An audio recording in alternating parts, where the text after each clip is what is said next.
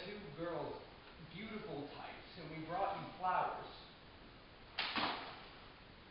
What'd you do that for, Mom? Don't you care whether he lives or dies? Live? What do you mean lives or dies? I don't die around here, pal. Get out of here. Get out of my sight. I need to talk to the boss.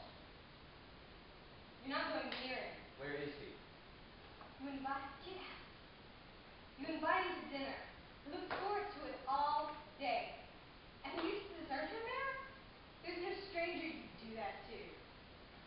He had a great time. I've never deserved. Get out!